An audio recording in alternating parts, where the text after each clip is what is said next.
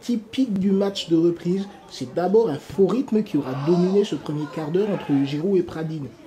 Néanmoins, dès qu'il s'agit d'accélérer, les locaux peuvent compter sur leur speedy Brandbart, dont le portier Lotois ne pouvait que repousser la fulgurance dans les pieds de Gilles pour concéder l'ouverture du score. Un avantage qui, loin de transcender les locaux, les maintenait dans ce même faux rythme dont les visiteurs, en dépit de leur évidente application de la circulation du ballon, ne profitaient que sur un coup franc de coulis ou la tête de Soudjdaï.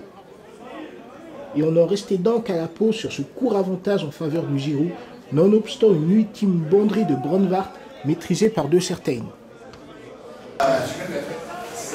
Sentiment sur le match, c'est un petit peu de frustration parce qu'on a eu, on a eu le ballon contre cette équipe du Giroud. On connaissait cette équipe du Giroud, on est tombé un petit peu dans le piège. hein. Voilà, les équipes nous a- une équipe qui nous attendait avec un bloc assez bas, qui contre assez vite. On s'est fait piéger une première fois. On a pris le ballon, on a eu de l'avance, on s'est créé des situations.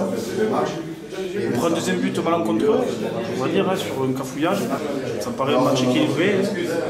On a l'occasion de revenir à la fin. Euh, on marque pas, dans le match de coupe, on sait que c'est décisif, hein, c'est des, détails, des petits détails sur des gros matchs. Pas de ça, euh, sur la prestation des joueurs, euh, moi j'ai rien à reprocher. hein. On a on a mis en place ce qu'on voulait faire aujourd'hui. Donc on à la continuité. Bon match de reprise. Même physionomie en seconde période, avec un jeu bien souvent cantonné à une lutte de milieu de terrain, dont seul un échange entre Gilles et Bronvart parvenait à nous faire oublier la relative routine. Et pour autre occasion manquée, Fressou lui aussi loupait le cadre sur son plat du pied. Alors que Pradine, pour le coup ultra efficace, parvenait à scorer sur sa première frappe de la seconde période.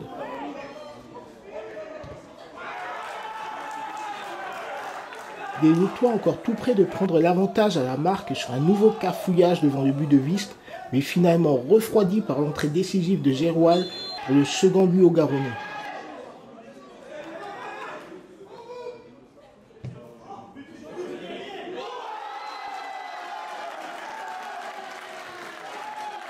La fin de rencontre devait pleinement se débrider, les jambes se faisant lourdes pour cette reprise de l'année civile.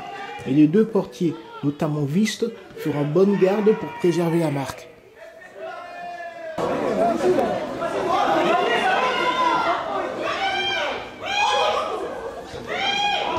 Les vrais problèmes, on avait le maternel. Après, euh, après notre but, on, on s'est un peu désunis. Et voilà, mais on a essayé de maintenir le score jusqu'à la première mi-temps, à la fin de la première mi-temps.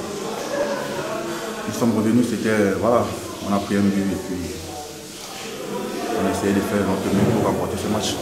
Un match de reprise, c'est difficile de reprendre après Ah, avoir... ben oui, c'est difficile parce que toute la semaine, on a essayé de faire un peu de foncier pour se remettre parce qu'on sortait des fêtes. Donc le prochain match contre Saint-Jean et le reste de la saison, tu vois ça comment? Euh, on a fait une bonne première partie de saison et on, a- on attaque la deuxième, on verra.